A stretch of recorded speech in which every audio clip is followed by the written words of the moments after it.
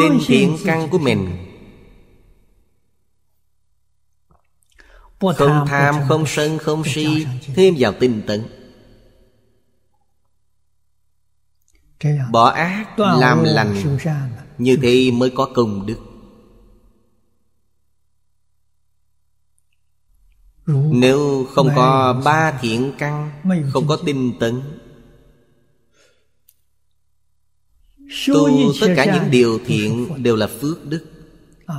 Công đức không giống phước đức.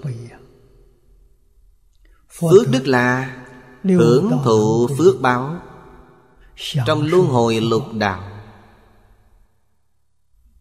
Công đức có thể giúp chúng ta khai trí tuệ.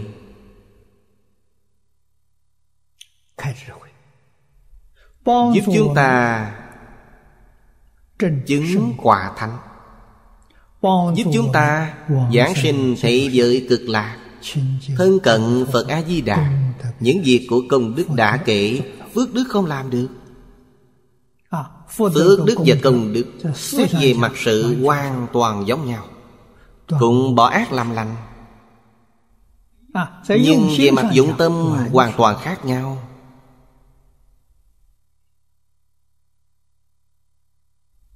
Chỉ cần bản thân ta có ngã Biến thành phước đức.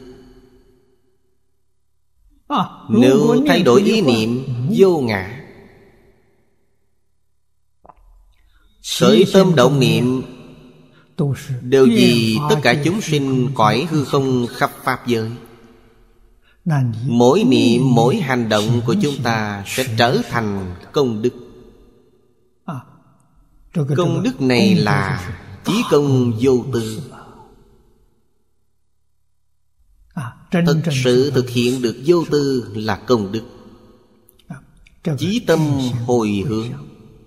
Thành tâm thành ý. Đến Pháp thế gian Thập Pháp giới. Không có lòng mong cầu trong thập Pháp giới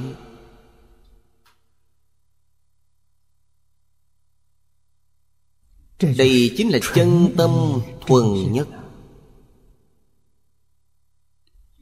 Đem tất cả những công đức ta đã làm Hồi hướng về thế giới cực lạc phương Tây.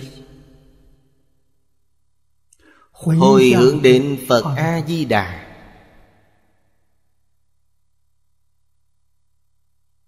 Tất cả những công đức ta tu trong đời Không phải gì khác Chỉ vì Cầu sinh thế giới cực lạc Thân cận Phật A-di-đà. Bởi thế giới chúng ta có nguyện, có cầu. Nguyện cầu này là có điều kiện Không phải không có điều kiện.